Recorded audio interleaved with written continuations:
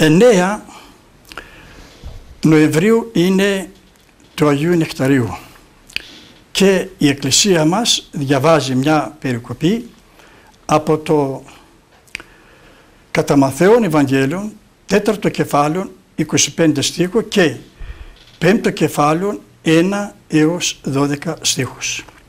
Και ακολούθησαν αυτό όχλοι πολλοί από της Γαλλίας και Δεκαπόλεως και Ορσουλήμων και Ιουδαίας και πέραν του Ιουδάνου. Εδώ δε τους όχλους ανέβη στο όρος και καθίσοντος αυτού προσήθων αυτό οι μαθητέ αυτού και ανοίξε στο στόμα αυτού δίδασκεν αυτούς λέγον. Μακάρι πτωχή το πρέματι ότι αυτό είναι στην βασιλεία των ουρανών. Μακάρι οι πενθούντες ότι αυτοί παρακληθήσονται. Μακάρι οι πραείς ότι αυτοί κληρονομήσουν στη γη. Μακάρι οι πεινώντες και διψώντες την δικαιοσύνη ότι αυτοί χορταστήσονται. Μακάρι οι ελίμονες ότι αυτοί ελεθίσονται. Μακάρι η καθαρή την καρδία ότι αυτοί το Θεόν όψονται. Μακάρι οι ειρηνοποιοί ότι αυτοί οι Θεού κληθήσονται. Μακάρι οι δεδειγμένοι είναι και δικαιοσύνης ότι αυτό είναι στην βασιλεία των ουρανών. Μακάριστε όταν ονειδήσουσι μας και διώξουσι και ύποση πάμπο νερών ρήμα καθημών ψευδόμενοι είναι και νημό. Χαίρετε και αγκαλιάστε ότι ο μισθός ημών πολύς είναι τους ουρανείς, ούτω γάρ εδίωξαν τους προφήτας τους προημών. Εδώ θέλω να κάνω δύο σχόλια. Πρώτον, ακολούθησαν λέγει ο Ευαγγελιστής το Χριστό πάρα πολλά πλήθη του λαού. Έτσι ο Χριστός ανέβηκε στο όρος και άρχισε να μιλάει στους Αποστόλους και στα πλήθη του λαού. Τα κεφάλαια του Μανθαίου, πέμπτο, έκτο και έβδομο είναι επί το όρος ομιλία. Έτσι, αυτή η περικοπή εδώ είναι στην αρχή της ομιλίας που έκανε στο όρος ο Χριστός.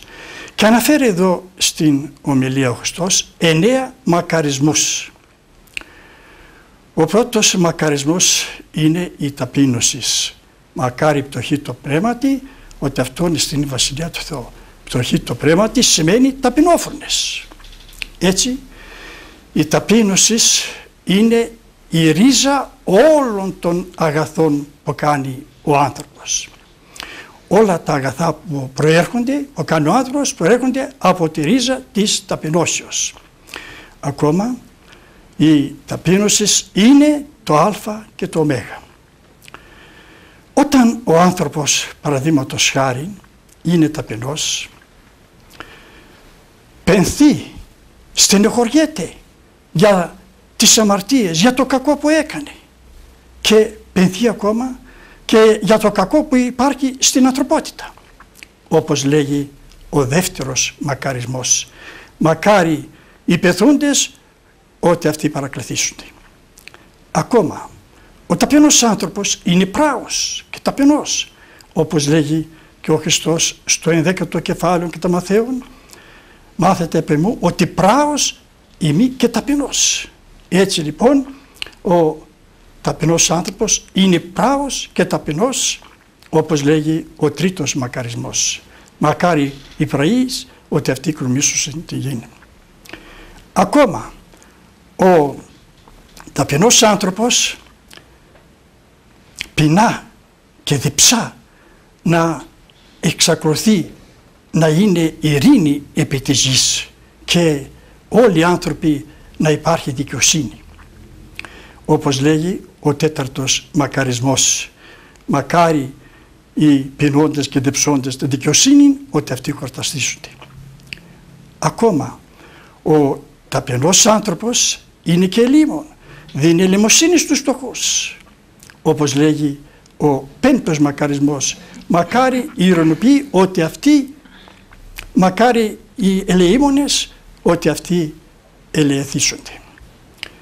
Ακόμα ο ταπεινός άνθρωπος μπορεί και προσπαθεί να καθαρίσει την καρδιά του από κάθε αμαρτία.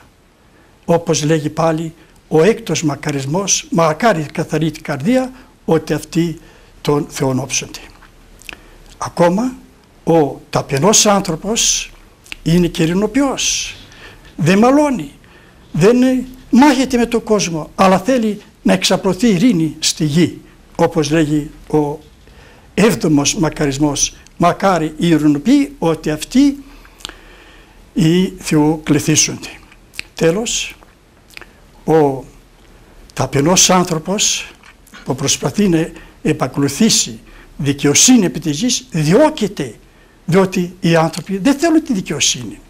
Διώκεται όπως λέγει ο όγδος μακαρισμός μακάρι οι δεδειγμένοι έναντι δικαιοσύνης ότι αυτό είναι στην βασιλεία των ουρανών. Έτσι βλέπουμε από τον πρώτο μακαρισμό μέχρι το όγδο μακαρισμό σαν μια λυσίδα ένα με το άλλο. Γι' αυτό όπως είπα στην αρχή ότι η ρίζα όλων των αγαθών προέρχονται από την ταπείνωση. Η ταπείνωσης είναι το α και το ω, γι' αυτό ο Χριστός μας διδάσκει να έχουμε ταπείνωση. Αλλά να ακούσουμε και αυτά που λέγει ο Παύλος ότι τι έχουμε και δεν λάβαμε. Τι έχεις ο, ο και έλαβες ή και έλαβες τι καυχάσει ως μη λαβών; Έτσι ό,τι έχουμε πετυχεί εδώ στη γη στη ζωή μας δεν τα έχουμε μόνοι μας αλλά με τη δύναμη του Θεού. Γι' αυτό ο Θεός εδώ, ο Χριστός μας διδάσκει να έχουμε την ταπείνωση ότι ο Θεός υπερηφάνης αντιτάσσεται, ταπεινής δε δίδωση χάρη.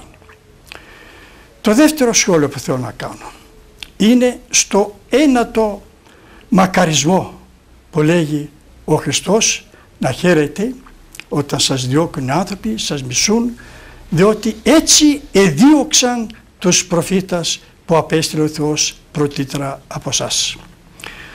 Εάν αγαπητοί Απόστολε, θα διαβάσουμε προσεκτικά την Παλιά Διαθήκη, θα δούμε ότι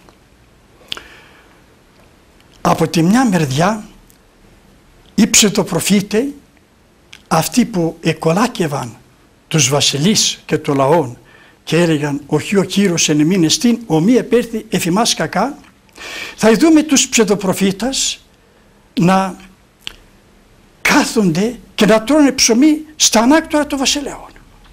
Από την άλλη μεριά βλέπουμε τους πραγματικούς προφήτες του Θεού που άλλοι τους έδιωξαν, άλλοι τους μίσησαν, άλλοι τους σκότωναν. Έτσι βλέπουμε στη Παλιά Διαθήκη άλλοι προφήτε να διώκονται από τους βασιλιάδες και από τους γραμματείς και φαρισαίους και να αναγκαστούν να πάνε να κρυφτούν στα βουνά όπως ο Ηλίας. Άλλοι προφήτε τους έβαζαν στη φυλακή όπως ο προφήτης Μιχαίας. Άλλοι προφήτε τους έριχναν στα λεοντάρια να τους κατασπαράξουν όπως ο Δανιήλ. Άλλοι προφήτε τους έριχναν στην φωτιά να καίγονται όπως οι τρεις παιδες στο καμίνι του Ναβοχοδονόσορος που καιγόταν επταπλασίωνα. Άλλοι προφήτε τους έκοβαν με το πρεόνι σαν ήταν κούτσορα όπως ο προφήτης Ισαΐας. Και άλλοι προφήτε τους έρεγναν στο λάκκο που είχε λάσπη και ακαθαρσίες όπως ο προφήτης Ιερεμίας. Έτσι όλοι οι προφήτε αυτά τα πέρασαν στο πετσί τους. Γι' αυτό εδώ ο Χριστός λέγει στους Αποστόλους, στους πιστούς, στους χριστιανούς να χαίρετε και να αγκαλιάστε ότι η αμοιβή σας, ο μισθός σας θα είναι πολύ στον ουρανό ότι έτσι εδίωξαν τους προφήτας που απέστειλε ο Θεός πρωτήτρα από σας. Μάλιστα. Άρα εδώ πρέπει να ανακεφαλαιώντας να πούμε ότι οι θέλοντες ευσεβώς ζήν Εν Χριστώ Ιησού διοκτήσονται. Εν Χριστώ Ιησού διοκτήσονται.